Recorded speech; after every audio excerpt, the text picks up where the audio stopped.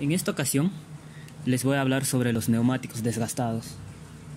Muchas veces pasa que nosotros compramos la motocicleta, estamos utilizando la moto y la llanta comienza a desgastarse demasiado pronto o comienza a sufrir desgastes irregulares. Justamente vamos a hablar sobre ese tema. Hay cosas que nosotros podemos hacer para que duren más nuestras llantas y hay cosas que nosotros mismos no podemos hacer, no hay que llevar a un especialista. En este caso, como vemos en la imagen, tiene desgaste en un solo lado. Así que posiblemente el chasis esté doblado o algo por el estilo, ¿no? Este, o esté desalineado. En ese caso nosotros no podemos hacer nada. Hay que llevar a un taller, ¿no? Para que hagan las respectivas evaluaciones. A ver, vamos a ver otra imagen. Acá, por ejemplo, vemos una imagen que donde el neumático se desgastó solamente por la parte central. Como podemos observar, en, los, en las esquinas se encuentra en perfecto estado, solamente se gastó el centro.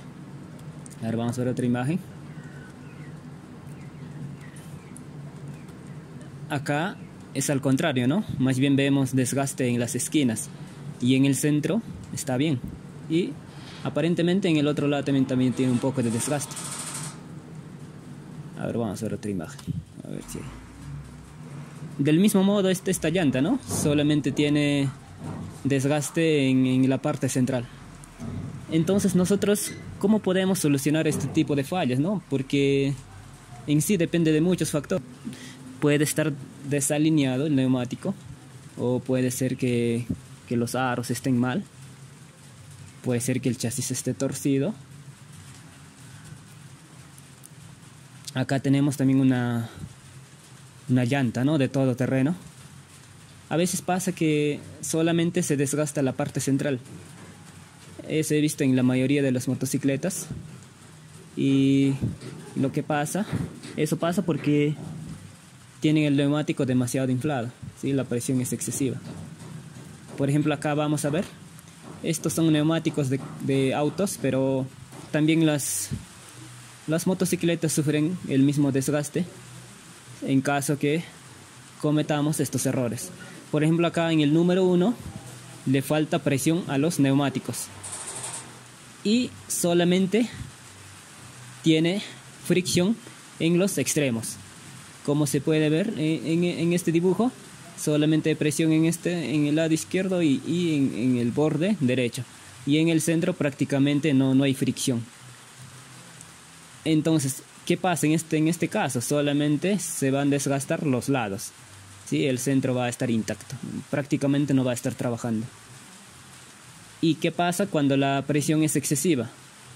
Como se puede observar aquí, toda la fricción, todo el contacto con el pavimento solamente se va a concentrar en el punto central. De esa manera va a provocar que se desgaste solamente la parte central. Entonces nosotros debemos mantener la presión adecuada en la llanta de la motocicleta para que así nos, nos abarque una, una mayor porción ¿no? de toda la llanta. Como podemos observar acá en el punto número 3, eh, la llanta está haciendo contacto una, una gran cantidad. Y de esa manera podremos tener un desgaste parejo de las llantas y por ende nos va a durar mucho más tiempo. Además vamos a poder tener mayor agarre en, lo que es el pavimento, cosa que va a ser más seguro también la conducción.